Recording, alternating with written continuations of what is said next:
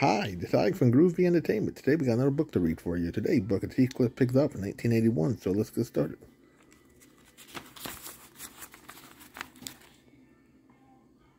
He got a choreographer. So that was Heathcliff Pigs Out for 1981. So if you like, subscribe, share, and comment. Have a groovy day. We have another video coming out real soon.